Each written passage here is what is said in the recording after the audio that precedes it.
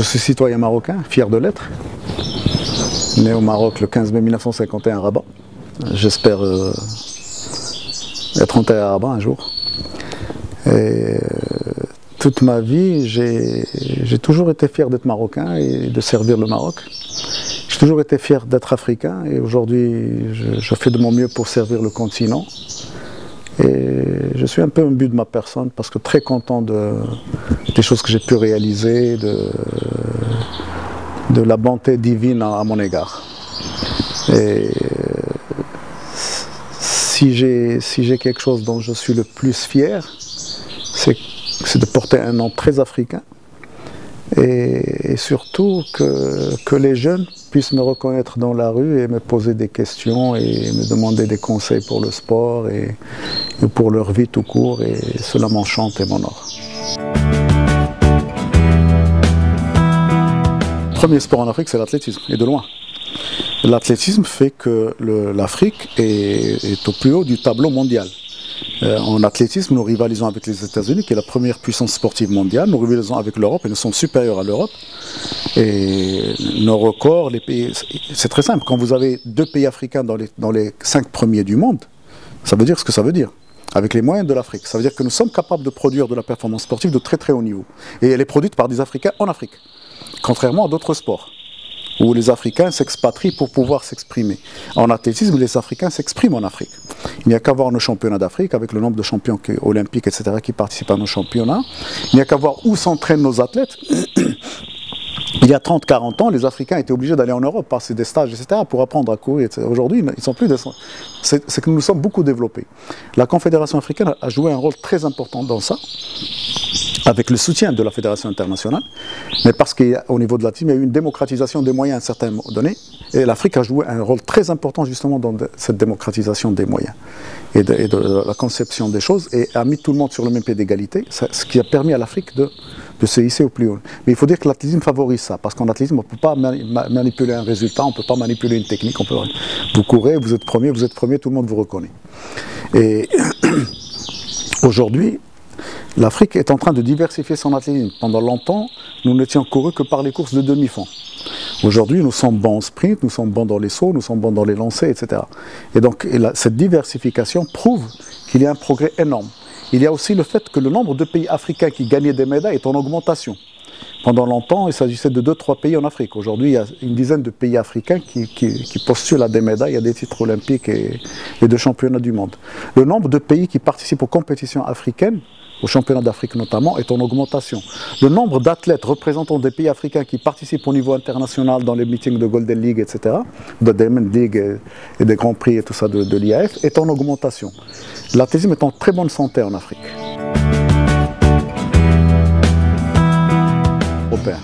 Hélas. C'est-à-dire qu'aujourd'hui, tous les grands joueurs africains évoluent en Europe. Et quand vous ne voulez pas en Europe, vous ne valez rien. Citez-moi un seul championnat africain qui ait une valeur à produire des élites. Très difficile. Parce que les, clubs occidentaux puisent en Afrique et puisent constamment en Afrique. Il n'y a pas un jeune talent qui reste en Afrique aujourd'hui. C'est peut-être une des raisons. L'autre raison, c'est que on considère en Afrique que, le football est une question de moyens. Et on met l'argent avant les idées et avant le management. C'est dommage. Parce que nous avons les moyens, il n'y a qu'à regarder, comme vous dites, ce qui se passe en athlétisme, pourquoi ça n'est pas la même chose en football? Nous avons les moyens d'être parmi les premiers du football mondial. Mais maintenant, il faut aussi que les instances internationales le veuillent et nous, laissent euh, le chemin libre, sans embûches. Parce que quand vous voyez ce qui s'est passé euh, en Russie, il est quand même dommage de voir que c'est les pays africains qui ont payé le plus les erreurs d'arbitrage. C'est peut-être un hasard. Je, veux bien le croire. Mais je ne pense pas que ce, que ce ne soit que le fait du hasard. Le football rapporte tellement d'argent et est tellement important comme sport que ceux qui détiennent, les, jouent les premiers rôles sont jaloux de, jouer ces rôles et les défendent bec et ongle sans, ménager, les autres. Nous sommes, nous sommes, je ne dirais pas ciblés, mais nous sommes, disons, euh, combattus, tout simplement. Pourquoi bah, Parce que c'est un gâteau et chacun veut garder pour soi la plus grande part du gâteau et, laisser les miettes aux autres. Bah, pourquoi l'Afrique ne se doit pas de moyens pour préserver en fait Elle ne peut pas. Elle ne peut pas parce que la, la- la- la Coupe du Monde appartient à une instance internationale qui subit, elle, cette instance, le joug des puissances. Et elle est en fait l'émanation de ces puissances. Regardez la composition même de FIFA, par exemple, du bureau de FIFA. Ce qui se fait, ce qui doit se faire, c'est que les, les membres africains dans le bureau de FIFA doivent être plus agissants, plus, plus entreprenants, plus, plus audibles. Certains ne sont pas assez. Il n'y aura jamais une démocratisation à 100% du football. Vous savez, euh, cette chimère de démocratie dans le sport, est c'est vraiment... c'est- il, faut, il faut être, il faut être euh, allez, disons, naïf pour croire qu'un jour ou l'autre, il, y aura toujours une lutte. Et il va falloir lutter pour arriver à un résultat quelconque. Ce résultat sera-t-il satisfaisant pour nous, continent africain, dans 10 ans, dans 15 ans, dans 20 ans, on n'en sait rien. Mais il faut continuer à lutter, à se faire entendre et surtout à avoir de bonnes idées. Parce que tout le problème, c'est les idées. Vous savez, c'est un niveau où la, la- bataille est une bataille d'idées, avant qu'elle ne soit matérielle, ou de, ou de quoi, ou de management. C'est une bataille. Il faut avoir les meilleures idées possibles pour pouvoir asseoir un football africain performant qui puisse s'imposer au niveau mondial. D'accord.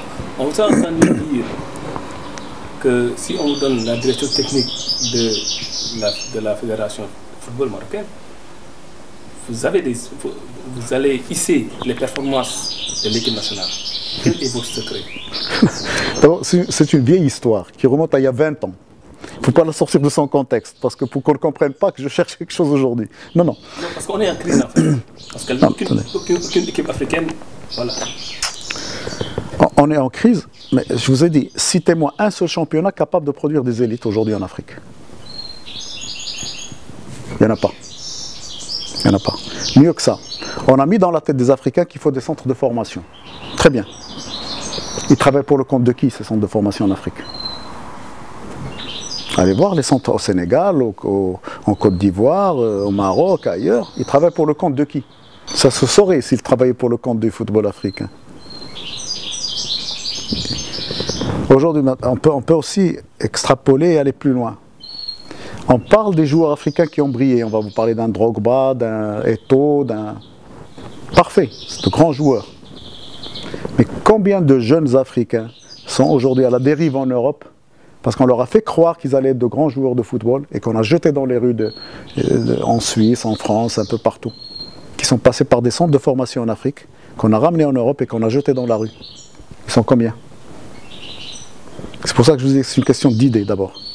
Il faut penser comment développer ce football africain pour qu'il serve d'abord le football africain. Quand vous regardez la, Cannes, c'est la majeure partie des joueurs européens qui viennent de couleur sombre, qui viennent jouer en Afrique, pour le compte de certains pays. Est-ce que c'est ça le développement? Est-ce que cette Coupe d'Afrique représente véritablement l'Afrique? Le Chan, oui. Moi j'étais heureux de regarder le Chan. Et je pense que c'est même l'avenir du football africain que ce Chan. Mais combien de pays africains boudent le Chan Combien de pays africains prennent au sérieux cette compétition du Chan qui, qui représente le véritable football africain? Et on a vu du beau jeu. On a vu des choses intéressantes, on a vu des gens lutter, travailler, essayer de jouer au football moderne, etc. Savoir que la performance sportive, et ça c'est quelque chose qu'on oublie, la performance sportive est une expression culturelle. Et que toute solution importée, toute solution importée ou process importé ne réussira pas en Afrique comme il ne réussira nulle part dans le monde. Copier les Européens, copier les Asiatiques, copier les Américains ne donnera jamais de résultats. Il ne donnera jamais de résultats en football comme il ne donnera jamais de résultats en quoi que ce soit. Une solution qui n'est pas l'émanation d'une culture, d'une d'une réflexion qui tienne compte de la psychologie des gens, de, la sociologie, de la, culture, ne donnera jamais de solution positive. C'est pour ça que je vous ai dit d'abord, c'est une guerre d'idées. C'est une bataille d'idées. Il faut réfléchir le football africain en africain. Il ne faut pas copier ce que font les Européens. Peut-être s'inspirer de certaines choses, c'est normal. Regardez ce qui se passe, essayez de comprendre comment ils font. Mais prendre les mesures, notamment les mesures, parce qu'on pense toujours que c'est l'argent qui va faire. Tous les pays africains vous parlent d'un manque de moyens. Non, ce n'est pas une question de moyens, c'est une question d'idées. Si vous avez la bonne idée, vous, pouvez. C'est l'homme qui produit les moyens et non pas l'inverse. Si vous avez les bonnes idées, vous pouvez trouver les moyens adéquats pour mettre en œuvre vos idées et réaliser les performances escomptées. J'ai été approché pour, euh, pour être euh, directeur général du Raja. J'ai participé à des réunions avec les dirigeants du comité provisoire actuel du Raja qui sont en train de préparer, préparer la saison et l'Assemblée générale future du Raja pour élire un, bureau légitime. Euh, je, suis honoré d'avoir participé à ce travail. Il y a un projet qui a été préparé, qui, qui va être mis en œuvre par les prochains dirigeants après l'Assemblée générale.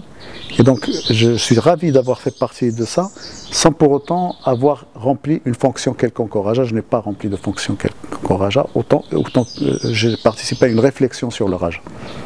Vous êtes prêt à prendre des fonctions là-bas? Au Raja euh, Suis-je l'homme qu'il faut? C'est ça la question. Parce que la presse, en fait, relaie que vous êtes approché et Oui, oui, j'étais approché, j'ai participé, j'ai travaillé, j'ai commencé à travailler. Vous avez proposé en fait un poste pour euh, oui. oui, mais est-ce que, euh, moi-même je me pose la question, pour moi-même, et, je, je, la pose à la presse, est-ce que je suis l'homme qu'il faut pour le Raja en ce moment? Je ne sais pas. Sincèrement, je ne sais pas. Si j'avais une réponse, j'aurais dit oui ou non au Raja. Je n'ai dit ni oui ni non. Au contraire, j'ai continué, vu les relations humaines que j'ai avec M. Aouzal, avec les amis du Raja. Euh, on se parle au téléphone, on se réunit, on discute de choses et d'autres, on essaye de trouver des solutions pour le Raja, justement.